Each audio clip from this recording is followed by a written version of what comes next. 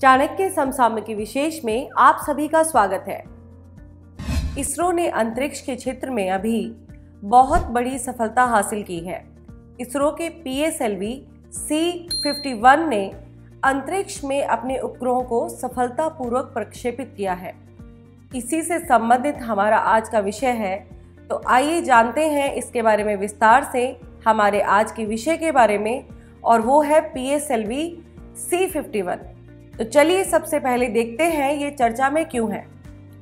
इसरो की वाणिज्यिक इकाई न्यू स्पेस इंडिया लिमिटेड का ये प्रथम समर्पित मिशन है और इसी के तहत ब्राज़ील के अमेजोनिया वन और 18 अन्य उपग्रहों को अंतरिक्ष में सफलतापूर्वक प्रक्षेपित किया गया है और ये कार्य श्री हरिकोटा अंतरिक्ष केंद्र से किया गया है। तो हमारा ये मिशन कुल 19 उपग्रहों को लेकर अंतरिक्ष यान में गया है और इन 19 उपग्रहों में से कुछ उपग्रह भारत के और कुछ विदेशों से संबंधित हैं। इनमें से पाँच उपग्रह छात्रों द्वारा बनाए गए हैं और ये जो एमेजोनिया वन है, ये ब्राज़ील का उपग्रह है और वहाँ का पहला प्राथमिक उपग्रह भी ये है। इसे लेकर ये अंतरिक्ष में गए हैं। तो अब हम बात करेंगे प्रक्षेपण के बारे में विस्तार से। P S L B C fifty one जो कि पोलर सैटेलाइट लॉन्च व्हीकल है, ये इसका फिफ्टी थ्रीवा मिशन है, यानी कि तिरपनवा मिशन है। इसने ब्राज़ील के एमेजोनिया उपग्रह को प्राथमिक उपग्रह के तौर पर लॉन्च किया है। इसके साथ ही भारतीय अंतरिक्ष केंद्र से कुल 18 सहयात्री उपग्रहों को ये अपने साथ लेकर गया है। पीएसएलवी के द्वारा जो 18 उपग्रहों का प्रक्षेपण किया गया है, उनमें से तीन उपग्रह शैक्षणिक संस्थानों द्वारा बनाए गए हैं और ये यूनिटी सेट से संबंधित है। इसके द्वारा एक उपग्रह अंतरिक्ष किट्स इंडिया से है, एक सतीश धवन सैटेलाइट से है और चौदह उपग्रह जो है, वो न्यू इंडिया लिमिटेड से संबंधित है। अब बात करते हैं आनंद सैटेलाइट की। आनंद सैटेलाइट इसलिए भी चर्चा में है क्योंकि इसको बिल्कुल मौके पर इस मिशन के साथ नहीं भेजा गया है। भारत का अंतरिक्ष के क्षेत्र में स्टार्टअप है पिक्सल। पिक्सल ने आनंद को बनाया था और कुछ सॉफ्टवेयर संबंधी कारणों के चलते इसको अंतरिक्ष में भेजा नहीं गया है। I N S two D T इस मिशन के साथ इसे भी नहीं भेजा गया है।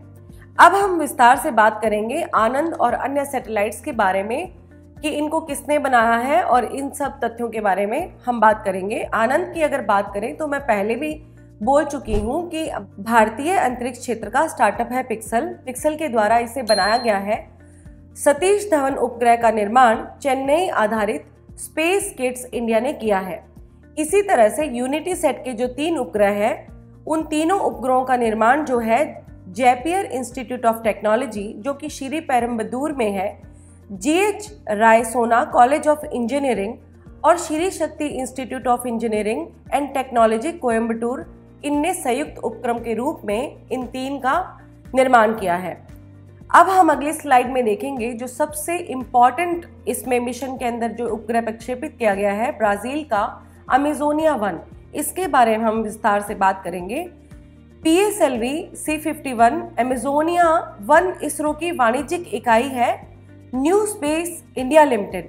New space India limited का ये पहला समर्पित वाणिज्यिक मिशन है। इसके अलावा अमेजोनिया चार साल तक अंतरिक्ष में रहकर अपने डाटा भेजता रहेगा और इस उपग्रह की लॉन्चिंग के लिए ब्राज़ील का एक वैज्ञानिकों का दल भी भारत में आया था। भारत की तरफ़ से पहली बार ब्राज़ील के किसी उपग्रह को अंतरिक्ष में प्रक्षेपित किया गया है। ब्राज़ील के लिए जो उपग्रह प्रक्षेपित किया गया है, यानी कि अमेजोनिया वन उपग्रह, इससे काफ़ी सारी मदद ब्राज़ील को मिलेगी। जैसे कि अमेजोन जंगलों में कटाई के बारे में इसमें डाटा उपलब्ध हो पाएगा, उस कटाई के बारे में पूरी जानकारी मिल पाएगी। इसके साथ ही कृषि संबंधी बहुत सारी जानकारियाँ भी इससे मिल पाएगी।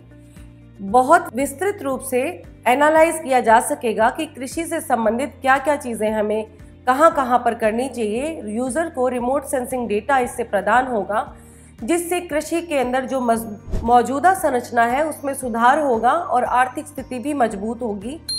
ये सारी चीज़ें जो है ब्राज़ील को मिलेंगी। चार साल तक इसका लाभ ब्राज़ील उठा पाएगा। P S L V C fifty one का एमेजोनिया वन मिशन भारत सरकार की company new space India limited का पहला वाणिज्यिक मिशन है। ये मैं बार बार दोहरा रही हूँ। क्योंकि ये न्यू स्पेस इंडिया का भी पहला मिशन है और इस साल का भी पहला मिशन है इसरो का। अब बात करते हैं सिंधु नेत्र के बारे में। सिंधु नेत्र उपग्रह को भी P S L V C fifty one के द्वारा ही प्रक्षेपित किया गया है। इन 19 उपग्रहों में ये भी शामिल है। अब ये उपग्रह जो रक्षा अनुसंधान विकास संगठन द्वारा विकसित किया गया है, ये काम क्या करेगा? भारत के सामरिक और वाणिज्यिक हित के लिए ये महत्वपूर्ण है और हिंद महासागर क्षेत्र में सैन्य और मर्चेंट नेवी के जहाज़ों की निगरानी भी करेगा।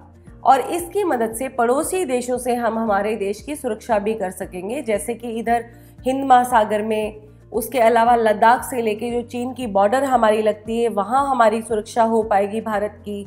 इधर पाकिस्तान बॉर्डर पे भी जो भी है, अरब सागर वाला एरिया है या बंगाल की खाड़ी वाला एरिया है, यहाँ सब हम मर्चेंट नेवी के जहाज़ों की निगरानी के में ये मदद करेगा।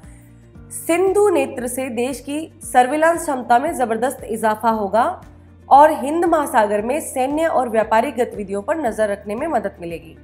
इसके साथ ही इसको डीआरडीओ के युवा वैज्ञानिकों ने तैयार किया है। ये एक महत्वपूर्ण बात है सिंधु नेत्र उपग्रह के लिए कि इसको युवा वैज्ञानिकों द्वारा तैयार किया गया है। अब हम बढ़ेंगे अगली स्लाइड की ओर, जो कि है पीएसएलवी के बारे में। हमने बात की कि पीएसएलवी सी फिफ्टी वन से हमारे उपग्रहों को प्रक्षेपित किया गया है। तो यहाँ ये जानना बहुत ज़रूरी है कि पीएसएलवी है क्या। पॉलर सैटेलाइट लॉन्च व्हीकल अर्थात पीएसएलवी भारतीय अंतरिक्ष अनुसंधान संगठन द्वारा संचालित एक प्रक्षेपित प्रणाली है।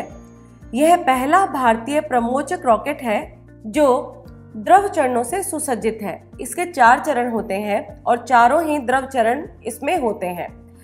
इसे भारत ने अपने सैटेलाइट को प्रक्षेपित करने के लिए विकसित किया है। पीएसएलवी छोटे आकार के उपग्रहों को भू स्थित कक्षा में भेज सकने में सक्षम है।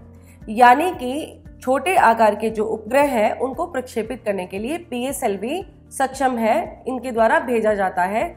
अभी जो 19 उपग्रह भेजे गए हैं, वो सारे P S L V C fifty के द्वारा ही भेजे गए हैं। अब हम बात करते हैं इसरो के बारे में, यानी कि भारतीय अंतरिक्ष अनुसंधान संगठन के बारे में। यह भारत का राष्ट्रीय अंतरिक्ष संस्थान है, जिसका मुख्यालय बेंगलोर में स्थित है। इसरो के अंतरिक्ष कार्यक्रम का मुख्य उद्देश्य न केवल उपग्रहों का निर्माण करना है, बल्कि अंतरिक्ष यानों का निर्माण करना भी है, जिनकी सहायता से अंतरिक्ष में उपग्रहों को प्रक्षेपित किया जाता है और भारत में विभिन्न प्रकार की गतिविधियों में उसकी सहायता ली जाती है। रॉकेट लॉन्चिंग से लेके उपग्रह प्रक्षेपण, ये सारे कार्य इसके द्वारा किए जाते हैं। इसरो की स्थापना 15 अगस्त उन्नीस सौ उनहत्तर में की गई थी और इसका पहला उपग्रह आर्यभट्ट था। आर्यभट्ट को 19 अप्रैल 1975 को सोवियत संघ द्वारा अंतरिक्ष में छोड़ा गया था। इसका नाम आर्यभट्ट के नाम पे है, जो भारत के महान गणितज्ञ हुए हैं। इसके साथ ही इस विषय के बारे में हमने विस्तार से चर्चा की है, न केवल पीएसएलवी के बारे में हमने चर्चा की है, हर पहलू के बारे में हमने बात की है। इसी के साथ ही हमारा ये विषय आज यहीं पर समाप्त होता है। अब हम देखेंगे आज का प्रश्न। आज का प्रश्न है, हाल ही में इसरो ने P S L V C fifty one से अमेजोनिया का सफल प्रक्षेपण किया है। अमेजोनिया वन किस देश से संबंधित है? विकल्प ए फ्रांस से, विकल्प बी ब्राज़ील से विकल्प सी यूक्रेन से और विकल्प डी इनमें से कोई नहीं। आप अपने उत्तर कमेंट सेक्शन में अवश्य दीजिएगा। आप सभी के जवाब का इंतज़ार रहेगा। अब हम देखेंगे पिछले वीडियो में पूछे गए प्रश्न को। पिछले वीडियो में जो प्रश्न पूछा गया था, उसका सही जवाब है विकल्प बी। यानी कि कथन दो और तीन सत्य है, कथन एक असत्य है। हाइड्रोजन की खोज अठारह में नहीं, सत्रह में की गई थी, हेनरी कैवेंडिस के द्वारा। इसके साथ ही इस वीडियो को यहीं पर हम विराम देते हैं और इस वीडियो और हमारे अन्य वीडियो से संबंधित पीडीएफ को डाउनलोड करने के लिए आप हमारे टेलीग्राम चैनल पर जा सकते हैं। वहाँ पर सभी पीडीएफ उपलब्ध है और आप वहाँ आसानी से उन्हें डाउनलोड कर सकते हैं। और इसके साथ ही हमारे चैनल को लाइक शेयर और सब्सक्राइब करना ना भूलें। धन्यवाद। Don't forget to like, share and subscribe to our channel and press the bell icon to never miss an update.